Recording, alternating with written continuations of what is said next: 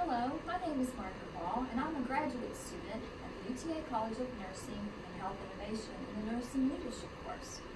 Thank you for attending this book review presentation. I provided handouts for you today in case you'd like to follow along. This presentation will review the book First In, Last Out, Leadership Lessons from the New York Fire Department by John Salka. The aim is to validate the author's qualifications, describe the purpose, strengths, shortcomings of the book, and to identify the objectives, the target audience, and recommendations. Battalion Chief John Salka with the New York Fire Department in the Bronx began understanding the value of leadership when he battled his first fire as a junior fireman on Truck 11 in 1979. Upon approach to the fire, he was immediately filled with fear when the lieutenant turned to the group and said, Follow me. Without hesitation, they all followed. And that's when author John Salka realized that the leadership code of the New York Fire Department was first in, last out. He began writing this book in 1984 when he realized the value of his leaders and the necessity of strong leadership to battle fierce fires. The purpose of this book is to seek answers to the big leadership questions that are asked in any organization. How can I get my people to do what I need them to do? How can I make sure the right things actually get done? How can I make sure we're doing the right things in the first place? And how can I get the most out of my people?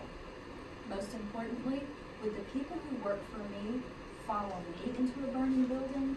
In other words, will they take my lead and trust me enough to follow? The target audience that the author is striving to reach is identified as the full range of leadership experience, from the frontline supervisor to the chief executive officer and all leaders in between.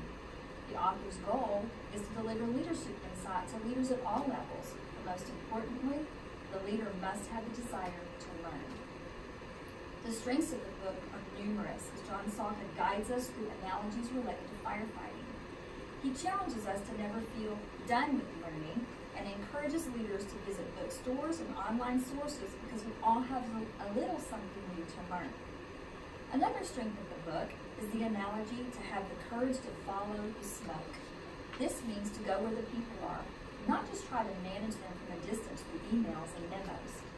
A strength of the book is the iteration that leaders need to realize staff are the ones that make things happen, and they're the ones that get the job done. So treating them with respect is imperative. Another strength of the book is spending time selecting and developing a support team. This is crucial to becoming an out-in-front leader can be accomplished through mentoring and encouraging them to take the next step. A final strength is a message to leaders that they need to know their weaknesses and reflect on past decisions and actions. The author encourages the exercise of writing down values side by side with your actions just to see if they match up. Making people feel successful is the key motivation to getting things done right. This allows them to use their strengths and rewards the organization's accomplishments through the recognition of those individuals. The structure of the book itself has significant strengths as well. The chapter summaries are helpful in drawing together the important ideas the author is trying to convey. As a firefighter himself, the author illustrates some very interesting firefighting stories related to the New York Fire Department leaders and instances where they shined. At 214 pages, the book is an easy read doesn't contain difficult theories or there are far more strengths in this book than shortcomings, and a few weaknesses are relevant in this book review. There is no significant scholarly research to back up the leadership concepts discussed. Though some of the author's thoughts are undoubtedly original, the leadership styles and traits he wrote could have been validated with other works. There are countless examples of other leaders within the New York Fire Department highlighted within their heroic leadership moments but there are limited personal success stories from the author's leadership experience himself. In addition, the author mentions several times in multiple chapters the concept of the triangle of the essential ingredients to make the fire, heat, oxygen, and fuel. This analogy became overused throughout the book. John Salka sought to write a book about leading an organization whose analogies were firefighting strategies. His emphasis on four categories were explained well through his interesting stories. The first category was to emphasize change because the fire you fought yesterday will not be the one you fight tomorrow. His goal was also to focus on the flames and not the smoke by identifying the organization's priorities. Thirdly, His attention to coaching by letting the team feel a little heat or they'll get burned tomorrow was clearly illustrated. Lastly, the importance of communication is related by the acknowledgement that a working radio is worth far more than 20,000 gallons of water. I would highly recommend this book to all leaders, regardless of their years of experience or leadership title.